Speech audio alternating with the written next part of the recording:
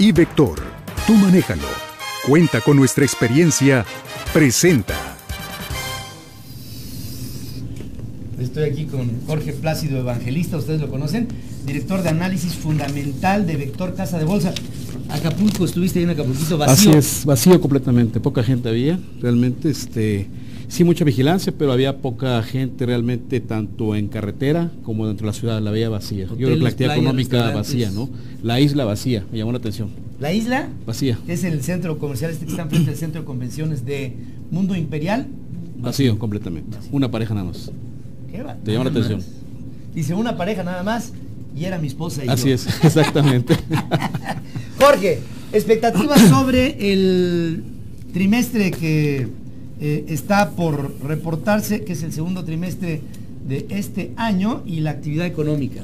Así es, Pedro. Mira, pues ya eh, fue un trimestre bastante complicado y bastante difícil desde el punto de vista económico, para las empresas principalmente. Eh, vivimos, por un lado, la alta volatilidad de los mercados financieros, destacando, por un lado, la fuerte revaluación del dólar, del dólar frente a todas las monedas a nivel global, fundamentalmente por el hecho de la fortaleza de la economía norteamericana, por la expectativa de un próximo aumento de tasas de interés por parte de Estados Unidos en la Fed, así como por dudas sobre el crecimiento en China como en Grecia, ¿no? el, tema de Grecia que también vino a presionar muchísimo las monedas y esto pues generó una fuerte revaluación del dólar. En el caso mexicano es importante destacar, Pedro, fíjate que de, junio del 2014, del cierre de junio de 2014 a junio de 2015, nuestro peso sufrió una devaluación del 20.9%, es decir, pasó de, 15, de, de, de 12.97 a 15.68 y eso evidentemente de alguna forma afecta o beneficia dependiendo del el giro de la empresa, pero sí de alguna forma impacta los estados de las empresas. Por supuesto, son 20% es muchísimo. Así es, exactamente. Por otro lado, a nivel interno, bueno, sabemos que la economía se ha visto afectada principalmente por la caída en los precios del petróleo, en donde eh, eh, hemos visto que esto ha traído como consecuencia recorte del presupuesto, obviamente efectos negativos en la inversión pública, la inversión privada y el consumo, ¿no? Entonces es el entorno en el cual se, se, se desenvolvieron las empresas y pues ya vimos algunos indicadores económicos que están dando la señal de la desaceleración económica en este país. Estamos viendo en el mes de mayo la producción industrial mostró un retroceso del 0.9%, son una caída del 0.9%, lo que nos hace suponer fuertes presiones para el crecimiento económico para lo que resta del año. En el trimestre eh, creemos que la producción industrial va a, estar, va a estar creciendo una tasa entre el 0.6 y el 0.8% todo el trimestre, el segundo trimestre de este año, de este año por debajo del 1.08% que presentó el mismo periodo del año pasado. O sea, más difícil. Así es, ya estamos viendo una deceleración otra vez, que es presionada Pronunci- la economía. ¿no? sí. Y por otro lado, también creemos que el PIB de este segundo trimestre, todavía nos dan los datos, obviamente, pero que estamos creyendo que su, su crecimiento va a estar alrededor del 1.5 y el 1.8% contra el 1.70 el mismo periodo del año pasado, ¿no? También más abajo. Pero es bien importante destacar que está por debajo del 2,5% de la expectativa de economistas consultados por Banco de México. Como tú sabes, bueno, hay una encuesta que se va revisando y actualmente ellos están esperando el 2,5%. Nosotros esperamos que esté entre el 1,5% y el 1,8%. ¿no? Y aquí aprovecho para hacer un comercial, este Pedro, eh, quiero señalarte que recientemente Vector Casa de Bolsa recibió un premio otorgado por Consensus Economics en la categoría de precisión en el y en el pronóstico de México 2014, por haber sido la entidad que mayor presión tuvo en cuanto a la expectativa de crecimiento del PIB y de la inflación en México. ¿no? De todos los economistas en el país, fuimos los que tuvimos la mejor certidumbre en los últimos 24 meses, O sea, 2013, los- 2014. Los más, los más acertados. Así es, lo comentamos eso de unas entrevistas también, te platicaba cómo nos fue el año pasado y bueno, este año parece que también eh, estamos ta- eh, siendo muy negativos desde el punto de vista de que somos los que tenemos una expectativa de un crecimiento bajo moderado en la economía, pero aún así, pues sí, los indicadores lo están confirmando esta, esta tendencia, ¿no? Bien. Pero bueno, pasando ya a la materia que estamos este, platicando, bueno, creemos que el- para las empresas va a haber un desempeño favorable debido a una baja base de comparación del año pasado. Fue el primer semestre fue un, proceso, un crecimiento bastante bajo y es bueno, la base, la base de alguna forma comparativa hace que los resultados podrían ser mejores de lo que se podía prever. Obviamente el impacto la depresión del peso frente al, de- de- al dólar hace que las empresas exportadoras o las que tienen ingresos en dólares tengan un incremento mayor al promedio. Claro. Y obviamente aquellas que hicieron inversiones en el periodo que adicionaron negocios en su conjunto. ¿no?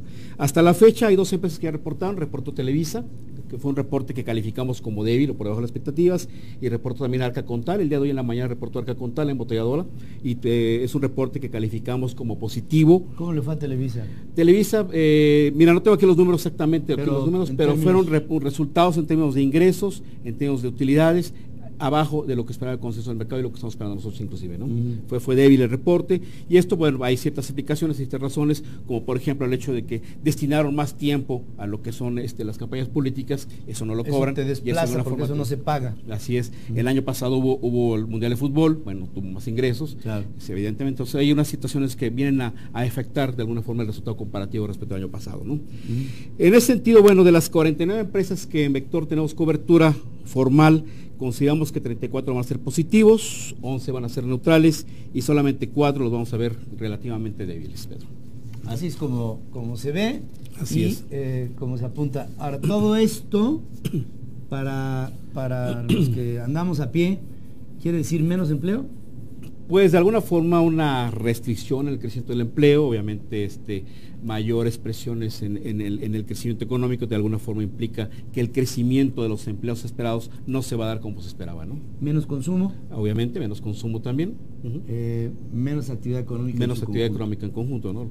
Basado en muchos de los resultados positivos en exportaciones. Así es. Eh, principalmente las exportadoras y todas aquellas empresas que tienen de alguna forma ingresos denominados en dólares. Por ejemplo, las fibras, las fibras que son fideicomisos de inversión en bienes raíces, tienen, eh, por ejemplo, eh, instalaciones o infraestructura de activos en todo el país que son eh, plantas que rentan y la rentan en dólares. ellos tienen este año tienen un resultado bastante positivo derivado fundamentalmente de esa situación. Con todo, con todo ello se nos presenta una, una economía en, proporciones menores, con un crecimiento inercial. hemos visto una baja consistente en las últimas 12 semanas en las reservas internacionales de Banco de México, tratando eh, de apuntalar por un lado al peso y por el otro recibiendo menos ingresos de la, de la renta petrolera.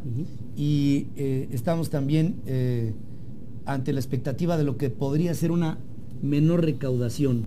Es, cierto, ciertamente. Obviamente, menor actividad económica tienes una menor recaudación. Tienes una menor recaudación con todo ello, los, con todo y la aplicación del el, nuevo, ¿qué va a decir Hacienda?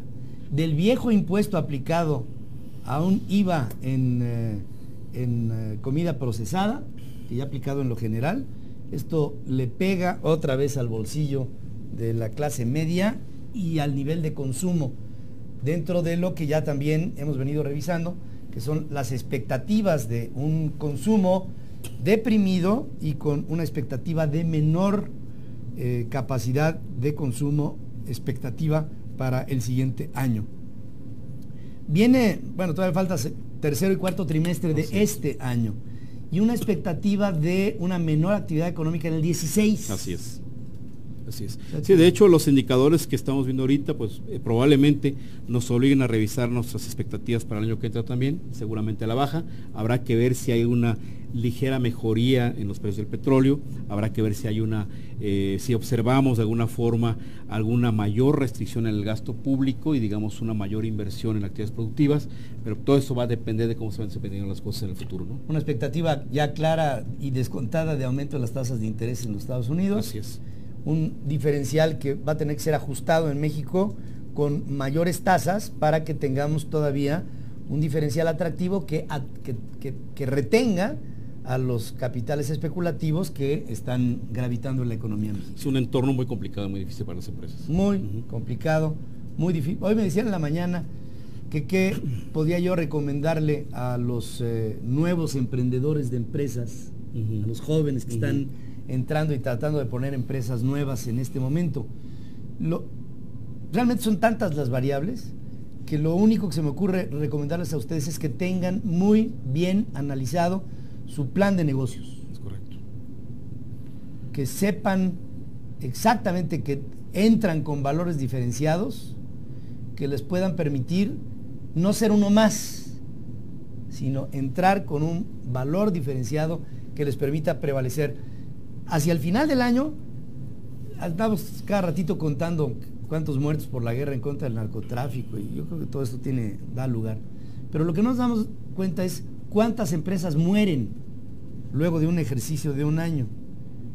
Y con estos marcos económicos que estamos teniendo en el país, muchas organizaciones incipientes, jóvenes, que se fundaron en los últimos cinco años, van a sucumbir en, de aquí a diciembre, por lo que hemos visto del camino de enero hasta donde vamos caminando.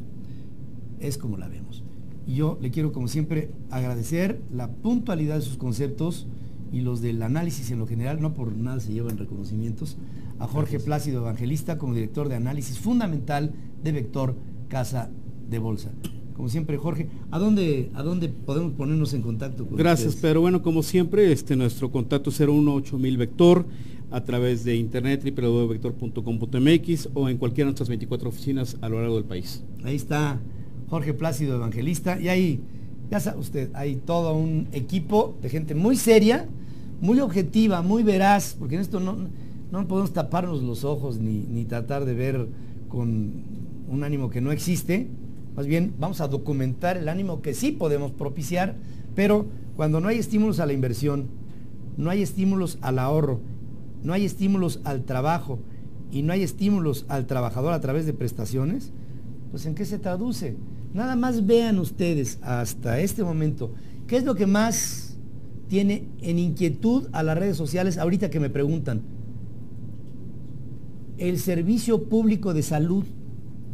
Así es. La gente está muy preocupada por por dónde transitará el Instituto Mexicano del Seguro Social y el ISTE de aquí a un año porque ya están oliendo que puede haber una crisis económica que le pegue fuertísimo al sector salud y tienen razón.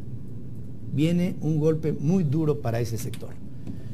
Vamos a hacer una breve pausa y aquí regresaremos con más información. Gracias, Jorge. Nada, Pedro, mucho gusto. Y Vector, tú manéjalo. Cuenta con nuestra experiencia. Presentó.